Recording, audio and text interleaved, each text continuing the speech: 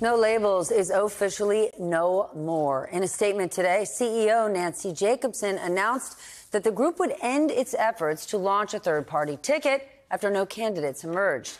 That leaves only one third party candidate left, RFK Jr., and his campaign has some Democrats, quote, freaked out and ready to mobilize. Back with us tonight, Jennifer Palmieri, former White House Communications Director for President Obama, and Tim Miller, host of the Bulwark podcast and the former Communications Director for Jeb Bush. Jennifer, the threat of a no labels ticket is gone. They couldn't find a candidate. What's your take? Right.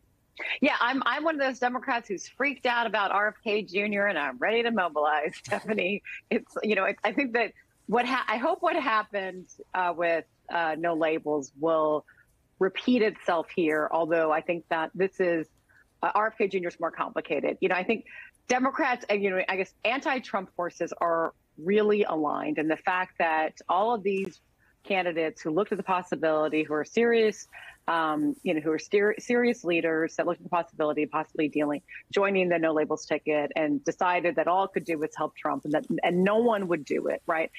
That's sort of an early indicator of concern in the populace writ large about about the possibility of Trump winning, and I think it reflects a larger concern that Democrats can sort of you know not not be complacent about but can count on will be there to to fight to fight Trump.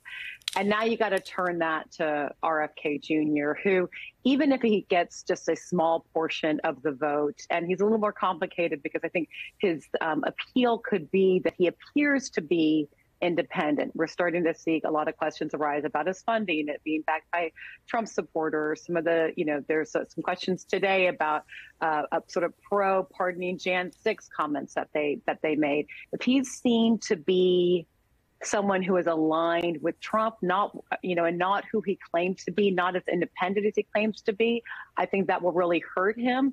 But this notion of someone who's sort of independent, not of either party, is a real threat, even if it's just two, three um, percentage points. That could be a margin of victory.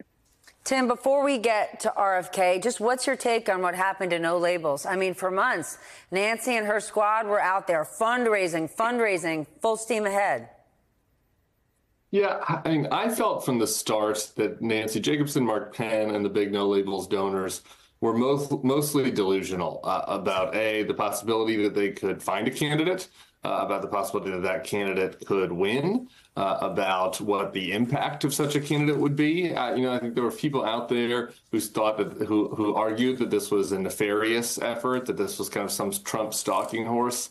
And, and I do think it's worth saying I, I, I, never felt that way. I think it's pretty clear today, based on the decision, that that was not the case. And uh, you know, with respect to the late Joe Lieberman, I, I, think that what this really was was just a lot of naivete from people in the group and, and a lot of rich people in New York who thought that there was a broader interest in like a center right uh, center candidate than there is. I think most people who are in that vein are for Joe Biden. And like Joe Biden, Joe Biden occupies the center of this race. Maybe he's a little bit more left than, than various people would want them to be on, on one issue or another. But broadly speaking, he's acceptable. Donald Trump is unacceptable. And so it's hard to recruit somebody uh, in that environment. And I think that's why they, they came up empty. Jennifer, you were mentioning some of the things that, that certainly make RFK Jr. sound and be more right than he than people realize. Right. But the voters he could potentially pull, are they actually paying attention to the ins and outs of what he says, or are they drawn to this new face, different guy, young VP candidate right. coming from Silicon Valley, and they don't actually know what they're getting into, but he could attract young voters that, that President Biden um, is banking on? I think right now there's polls that show him getting about 14% of the vote, or at least I've seen those in the last couple of months. And I think you're right. That's what it is, right? It's people are exhausted by the sort of, you know, current current political stalemate. This sounds like something new. They like the name of a Kennedy. Um, but and they like you know his his first ad that he did was very well done and it was sort of like if you're tired of both sides here's something different. Here's an independent and that's could, could sound like a relief. But it's only been a couple of months where where people have started to look at him seriously and there's you know there's a couple of there's a couple of groups that have formed to to to take him on, and the DNC I know is, is doing that as well. And I, and already you're starting. You know, people will be educated about who this guy is and what he's really for, and I think that that will turn off a large swath of voters. That's one chunk of voters that he will lose.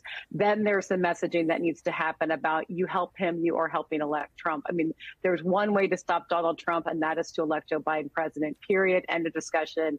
And you know that that will also take away a number of uh, voters for him, I think, in the end. And then there's just a question of who hangs on because they, uh, you know, they find him appealing for whatever reason, and those people might be turned off if they learned he's who's who's funding him if he doesn't appear to be as independent as he is i think those are sort of the three lanes that democrats that are trying to stop him can look at he's not who he says he is there's a lot of crazy stuff that he is for and if you vote for him you're going to help uh, trump I feel pretty good about our ability to make those arguments, but still, you know, one, two percentage points could be the difference. It's really scary. Tim, what do you think? I'm aligned with a lot of what Jennifer said. I think that there's one maybe area I'd add to this. I think the Democrats don't want to bank on this probably, but I think the very core of RFK support is pretty Trumpy, right? It is an anti-establishment, anti-vaccine, um, kind of not that engaged type of voter, um, or not that engaged in, I think, like the democratic process broadly, maybe doesn't hasn't voted a lot in midterms or primaries. Uh, that maps to a Trump voter. So I think that if RFK would is down at two, three percent, I think it's a big question about who he actually hurts. He might hurt Trump if he's really at that low of a number.